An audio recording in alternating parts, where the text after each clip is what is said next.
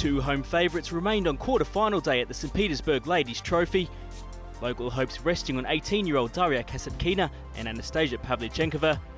Fifth seed Pavlyuchenkova would have her work cut out for her against top seed Belinda Bencic, though the Swiss teen was made to work for her victory over Annika Beck on Thursday. She may have plenty of expectation on her shoulders at this tournament, but Bencic stands to gain plenty if she can reach Sunday's final. The 18-year-old sits on the verge of breaking into sports elite, needing two wins to move past Carla Suarez Navarro and into the world number 10 spot for the first time in her career.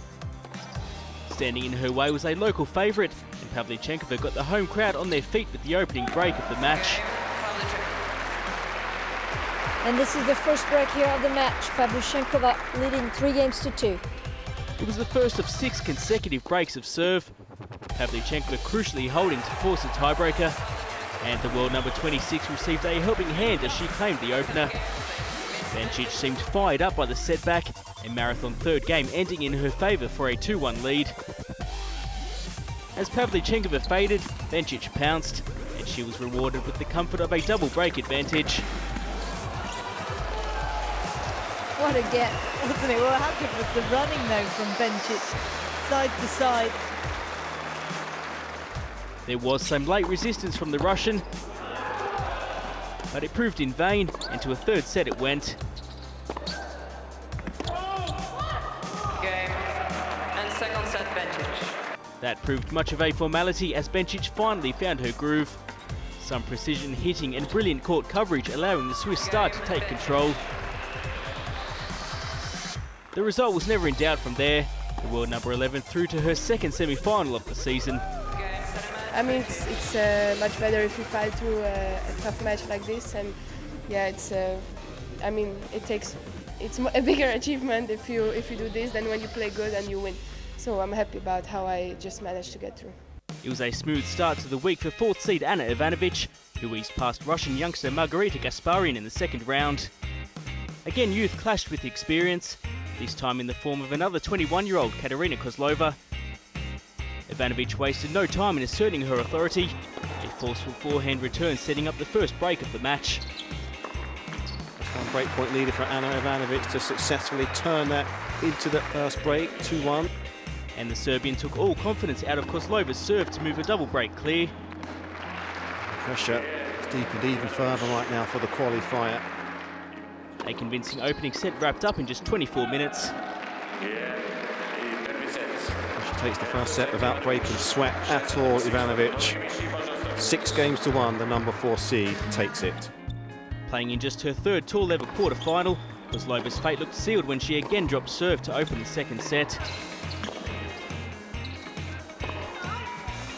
Ivanovic's powerful ground strokes proved too much to handle, fatigue getting the better of Kozlova as the former French Open champion sealed her first semi-final berth of the season.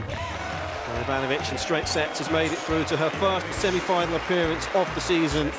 I started well today, I thought, and then in the second set um, she started hitting more aggressive and I thought I stepped back a little bit and my ball started dropping a little bit shorter, so she used that really well, but um, I was really happy at 5-4. I stepped up again and played some good tennis.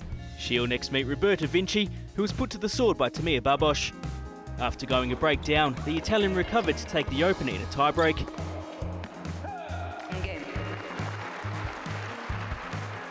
But Babos learnt her lesson in the second, again breaking early and this time holding on to force a decider.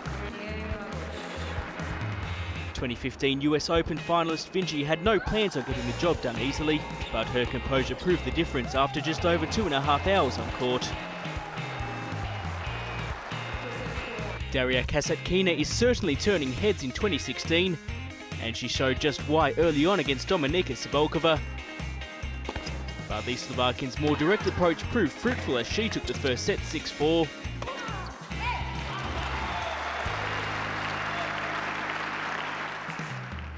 Kasatkina again produced some impressive angles in the second set.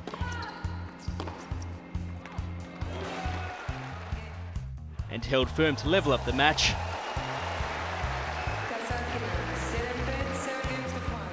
The Russian found joy in working her opponent around the court in the decider.